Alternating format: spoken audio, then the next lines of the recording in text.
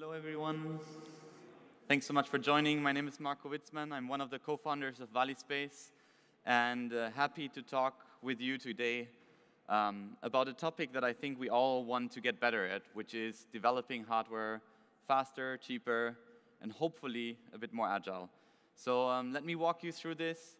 Um, you have these Slido parts next to you, so if you want to ask any questions, feel free to write them in the app. And in the end, we're going to do a short Q&A uh, where I'm going to try to answer your questions. Um, so let's just get started, right? So the question is, can digitization um, save you from the, digital, uh, from the typical requirements, verification, and test nightmare, right? And, the, and how to basically do agile hardware development. And let's look at the overall engineering process, right? When you develop something, and you will see that the cost of making any change to your product changes, right? It goes up over time and goes up exponentially. And actually, the flexibility, therefore, of making those kind of changes goes down. So when we talk about Industry 4.0, a lot of times we talk about that right part of this graph. But the reality is, the left part is that where you have the biggest ROI.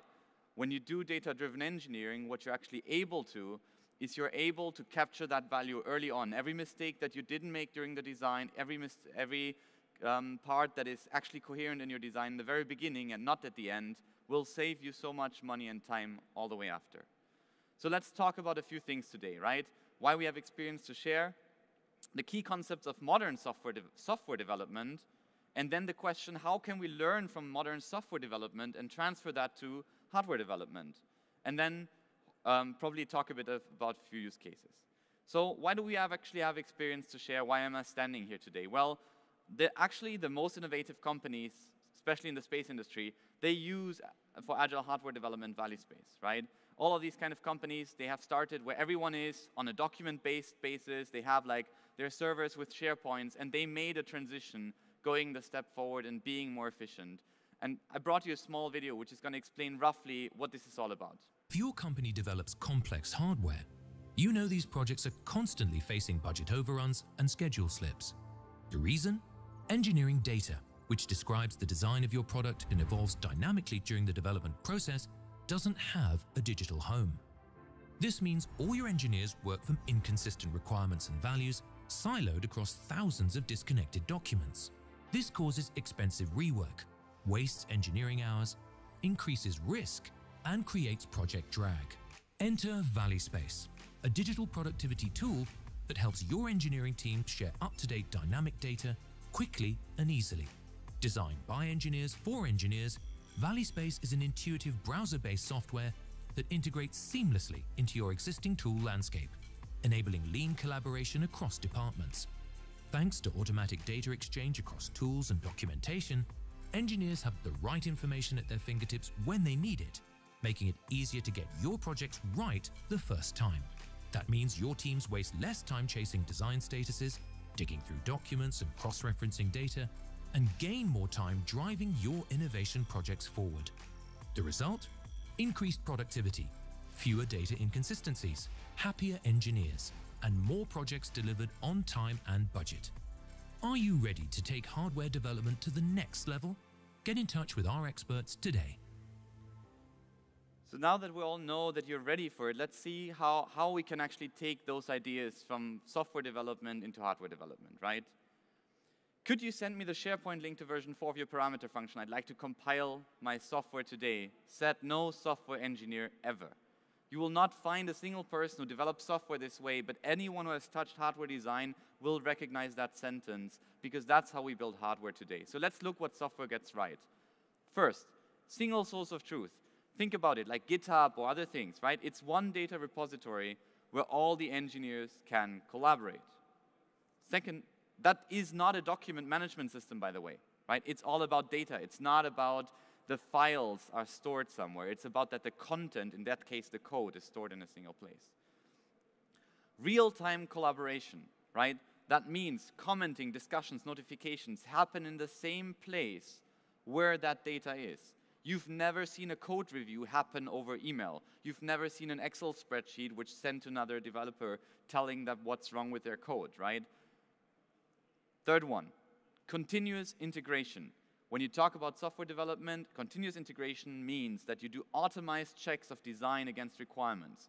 In software development, we call that automated testing or whatever you want to call it, but it's part of the development chain. You constantly get feedback, right? People compile several times a day their software. People look and let the test suite run constantly to know whether they're still on track or not. So that means not waiting for milestone to find out that you do have a problem agile development. So actually having a real-time overview over your progress, right? Where are we? How many things have we implemented already? Is there a problem I should take care of? That's not waterfall planning. Waterfall planning, what we do so often is we think we know exactly what's going to happen, and then we're surprised that our project takes three times the time and double the budget than we thought. And then automatic documentation, right? Documentation is generated from the code in the good companies. You actually comment in the code, and in the end, what you get is documentation out. You don't have to write a dedicated part. It's automatically up to date, and it's definitely not called Final 3. Okay, so now we have five key concepts. Five key concepts of how software gets it right. But hardware is not software. So how do we take those concepts, these ideas, and transfer them into hardware development? Let's see how we do that.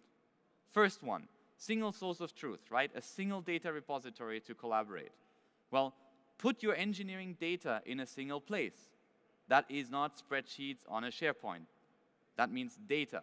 Because if you have spreadsheets on a SharePoint, two spreadsheets say different things. That's not a single source of truth.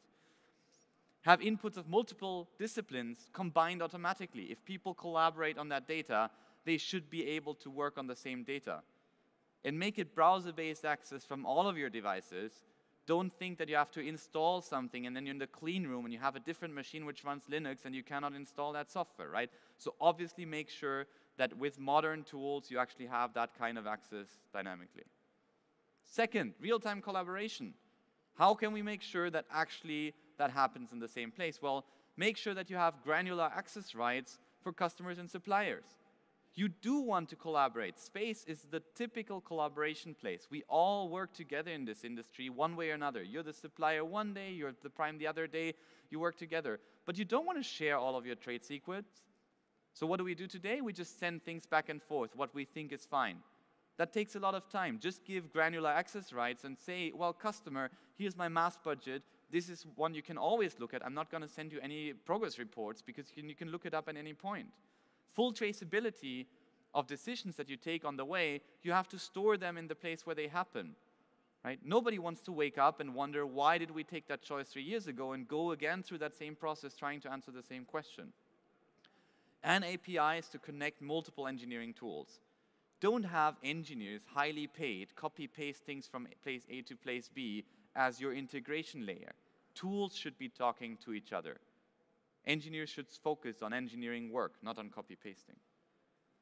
What does continuous con integration look like, right? Well, actually, you can have requirements with which, which are, with rule sets, being automatically verified at all stages. That means whenever someone runs a simulation and it turns out that the orbital velocity got 5% shorter, that should ring a bell in some requirement document telling you, careful, now you're outside of spec. You shouldn't have to wait for the expert to look at it. And that's what basically automatic and continuous verification looks like. Simulations should also be triggered automatically. If you change one part, the other recalculations should not be dependent on that you decide there's another simulation loop going on. They should be triggered. You should know what depends on what and verification is therefore already partially completed before you've touched the first thing. You don't have to have a, an engineer go through a lot of documentation, check numbers, if you have that view all the time. Now you can focus on actually doing tests, doing the things that you cannot verify by review or simulation. Agile development. Well, first of all, have a place where you can actually look up the status. Who, as a project manager, wouldn't like to pull up a dashboard and actually see how many requirements of the 250 that we have have we verified as of today? How many tests do I still have to run? What's the mass been like over the last few months of my spacecraft? Has it been going up or going down? Make sure that when you do planning, when you actually collaborate, you just don't put up Microsoft project, make a perfect plan, and then expect everything to happen. And then you call up people, did you do that? Oh no, it's late. Oh no, it's late. Make bottom-up planning. Ask people, what do you need for your task? Great, these are your inputs. What are you producing? Great, these are your outputs. And then put the planning together from these things. Now, in real time, when someone says, I'm done with this task, the other person will get a notification and the time shifts automatically. If one task lasts longer, you will immediately see what that does to your critical path. But you don't need to be the person updating that. It should be a software doing that. That allows you to find problems really, really early on in the process, right? And the last one is automatic documentation, right? Make sure that the data is your source. Documents are just the output. You can automate technical change management, therefore, right? Things that change automatically get reflected in your user manual, in your ICD, and whatever it is. And have traceability for every data entry. You do want to know where did that data come from? Why are we having this change? You want to look at a mass increase on spacecraft level and immediately know that it is because a supplier agreed on a different kind of mass on one of the equipments that you have. So basically, the answer to the question of how do we do hardware development in a more agile way is digital continuity. It means basically having a digital thread that goes from requirements engineering through concurrent design, detailed design, simulations, reviews, all the way up to test and documentation.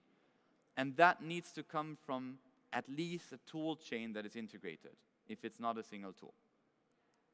So basically, requirements, design, verification, and test, when they're interconnected, agile hardware development becomes a reality. And now the question just is, where are you on this process? How many of your parts have you integrated? How many of these things are real for you? Here's a secret of how to do it. Now it's just about implementation. Thank you very much.